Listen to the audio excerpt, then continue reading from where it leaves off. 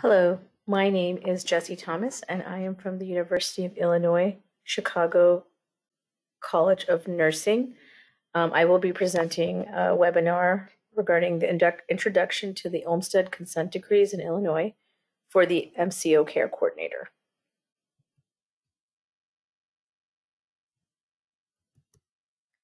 The objectives that we will be covering include reviewing social movements advancing deinstitutionalization in the United States, discussing federal law and the impact on institutionalization, introducing the Olmstead consent decrees in, in Illinois, identifying the role of a person centered, strength based approach within the consent decrees, and identifying additional resources for learning.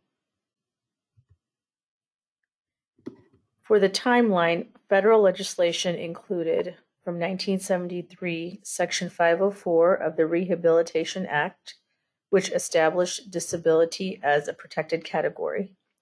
In 1990, the Americans with Disabilities Act was signed into law, also known as ADA, and in 1999, the Olmstead decision was made.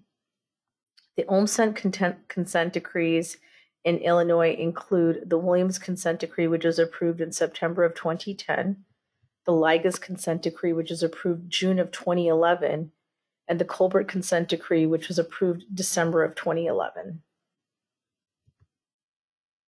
The historical overview includes that institutional practices grew rapidly in the United States from the 1800s to the 1900s. Almost half a million people with physical and mental disabilities lived in institutions by 1967 and by the 1960s, the disability rights movements emerged.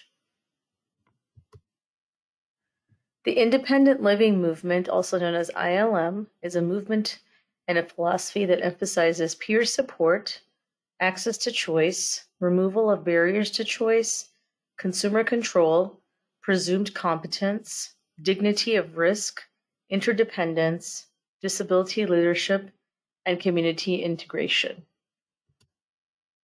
Key federalization includes le- legislation includes the Rehabilitation Act of 1973, the Americans with Disability Act of 1990, and the Olmstead Supreme Court decision of 1999.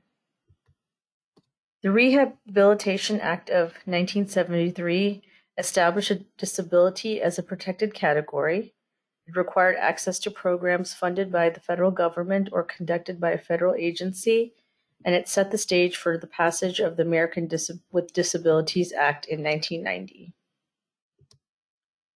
The Americans with Disability Act in 1990 prohibits discrimination on the basis of disability.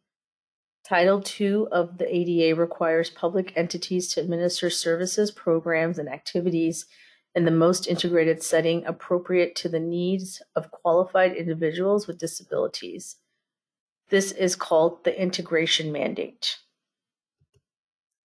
The Olmstead Supreme Court decision in 1999 included in 95, Lois Curtis had challenged her confinement at a Georgia regional hospital in Atlanta based on the Title II of the ADA. Elaine Wilson joined the case in 1996 of January as well. And in 1999, the Supreme Court ruled the unnecessary institutionalization of people with disabilities is discrimination under the ADA.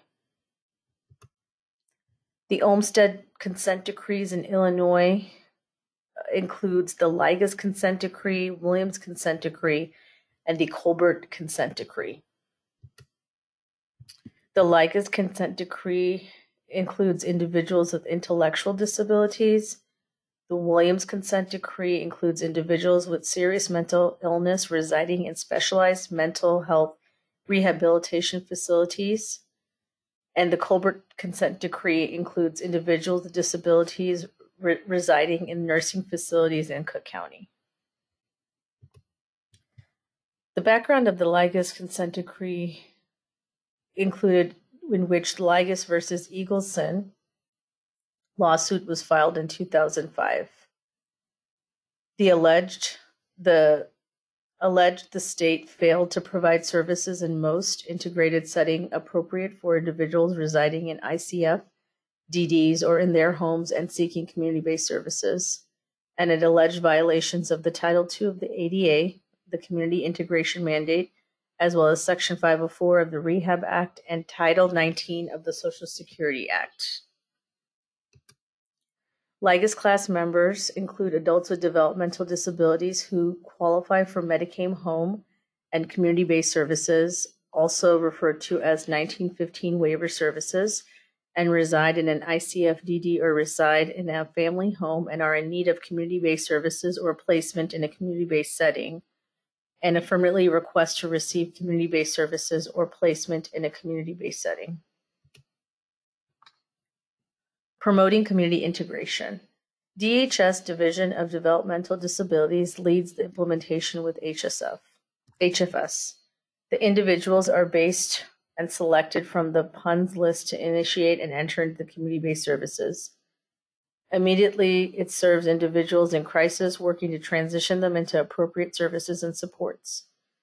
The independent service coordination agencies work to with individuals currently receiving or waiting for services, providing person-centered planning with an understanding of the individual's wants, needs, and desired outcomes, as well as transition to new and or different services, including community day services, home-based service programs, and CILA services.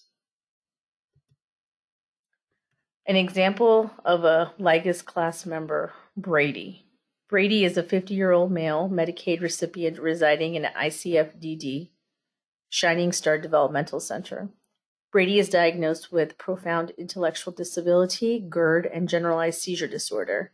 He lived with his parents until he they were no longer able to provide for his needs, and Brady and his brother Cody are interested in exploring community options.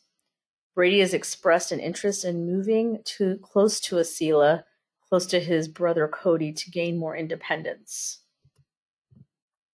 Brady's initial plan of action include the Hope House, which is a CILA close to Cody, and has accepted Brady for admission. The Hope House staff will assist Brady with medication management for his GERD and seizure disorder. The care manager partners with Brady and Cody to build self management skills. The care manager also ensures Brady has a PCP, dentist, and neurologist in the community and helps Brady schedule appointments. Brady and Cody are educated on additional community resources. The Williams consent decree included a lawsuit of Williams versus Pritzker, which was filed in 2005. It alleged that people with serious mental illness are unnecessarily confined in IMDs now classified as SMRFs. Alleged violations of Title II of the ADA and Section 504 of the Rehab Act. The Williams class members must meet all of the following, including being medical Medicaid eligible adults with a mental illness residing in a SMRF in Illinois and able to live in the community with right services and supports. The Colbert consent decree included a lawsuit of Colbert versus Pritzker that was filed in 2007. It alleged that individuals with disabilities were being unnecessarily institutionalized in nursing facilities in Cook County. The alleged violations included Title II of the ADA, Section 504 of the Rehab Act, and the Social Security Act. Colbert class members must meet all of the following, including Medicaid eligible adults with disabilities, residing in a nursing facility in Cook County, and able to live in a community based setting with the rights with the right services and supports. The Division of Mental Health of DHS leads implementation of both the Williams and Colbert consent decrees in partnership with HFS and the Department of Public Health. DHS has established the Comprehensive Class Member Transition Program for community integration for Williams and Colbert class members. And HFS's Community Transitions Initiative also provides a path to community integration, but is available to all nursing facilities and SMRF residents and is not limited to Williams and Colbert class members. These initiatives share many goals, but operate distinctively distinctly from one another. UIC College of Nursing provides cross-program coordination to ensure access to required services while minimizing duplication of effort. The Comprehensive Class Member Transition Program, or CCMTP, includes that the DHS DMH issues grants to prime agencies to provide transition services to all Colbert and Williams class members, including outreach, assessment, evaluation, service planning, transition activities, and community based services. This is the state's default program for meeting the requirements of the Williams and consent decrees.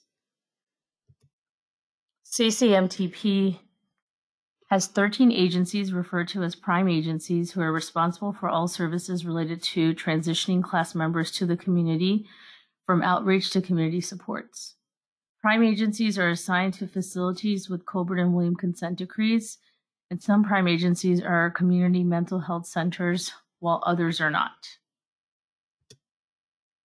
The Community Transitions Initiative, or CTI, include HFS who engages Medicaid managed care organizations, MCOs, to provide the following services to their enrollees who reside in SMRFs and nursing facilities. And this includes outreach assessment, evaluation service planning, transition activities, and linkage to community services. Community based behavioral services for class members include many class members with serious mental health illness and they need intensive community based services and different types of providers include community mental health centers and behavioral health clinics. Providers for a range of community based services include assertive community treatment, community support team, medication administration, and many more. Not all providers offer the same community based services, but not all CMHCs offer ACT. The level and types of services is based on the class member needs. Class members have the freedom to choose their mental health provider. If the class member is engaged with the prime agency, that is the CMHC, the class member may receive CMHC services from that specific CMHC. Alternately, they may be referred to another provider for services while the prime agency remains responsible for the CCMTP processes. If the class member is engaged with the prime agency that is not a CMHC or is working with their Medicaid managed care plan under the CTI, the class member will be connected to community based mental health providers as appropriate for needed services. An example of a Williams class member includes Riley, who is a 29 year old male Medicaid recipient who's residing at Sunshine Ridge, a SMRF. Riley is diagnosed with schizophrenia, hypertension, hyperlipidemia, GERD, and obesity.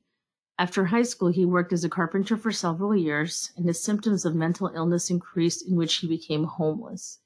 He was admitted to Sunshine Ridge following a hospitalization three years ago, in which Riley is interested in moving into an apartment in the community and working again. So, his initial plan of action would include reviewing Riley's current treatment plan, which includes medication review, using funds from a bridge subsidy, and identifying and securing appropriate housing in the community, referring Riley to a CMHC for ACT services, medication management, and budgeting assistance. And the care manager partners with Riley, Sunshine Ridge, and the CMHC to build self management skills for community living and condition management. The care manager ensures Riley has a psychiatrist, PCP, dentist, and will evaluate if a cardiologist is needed. And Riley is linked to an employment specialist and educated on additional community resources. Example of a Colbert class member, Wren. Wren is a 55 year old female Medicaid recipient residing at Moon Ridge Nursing and Rehab.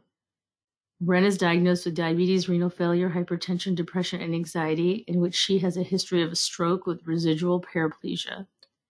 She was a former grocery store clerk and she lived with her sister until it was her stroke five years ago. Wren would like to leave the nursing facility, but is certain uncertain if she can live alone. The initial plan of action would include Wren's health status and medication are reviewed, and until further assessment and discussion, Wren is requesting to move to a supportive living program to gain more independence. The SLP staff will assist Wren with medication management and functional support, and the care manager works with Wren and partners with the nursing facility to build self management skills. Their care manager ensures a dialysis center and transportation is secured as well as PCP, dentist, endocrinology, neurology, nephrology, physical therapy, and psychiatry. Wren has also provided education on additional community services. Care management with Olmstead. Care managers are in a unique position to assist individuals to reach their full potential. A focus on individual needs, strengths, and preferences and goals over a one size fits all approach. And needs, strengths, and preferences and goals are often changed over time. This requires ongoing assessment and adjustments to care plans and services. The care management process is an ongoing process and it involves engagement, assessment, planning, implementation, monitoring, and evaluations. This process helps the care manager identify and adapt to the individual strengths, challenges, preferences, and goals. Client center focused and includes individual strengths, challenges, preferences, and goals, which are central for each plan. Resources and supports are built around the individual to be, to be successful in the community. Core care management activities include coaching and teaching, assessing, planning, development, developing, implementing, monitoring, evaluating, collaborating, arranging, advocating, development of self management, medication management, and referrals. In summary, the rights and supports for individuals with disabilities have been evolving for decades, and Illinois has three Olmstead consent decrees, and the care managers can help individuals live at their full potential using available resources. Tips for MCO care coordinators include using your resources and seeking out additional training opportunities, reaching out to your supervisor, your health plan's long term services and supports manager with any questions about the specific consent decrees, or working with class members. And further information can be found on our UIC CUN website, as well as emailing the about CTI processes or transition discharge questions to UIC CUN help desk directly, and we can better support you. Any questions specifically about policy or Olmstead consent decrees can also be directed to HFS for assistance.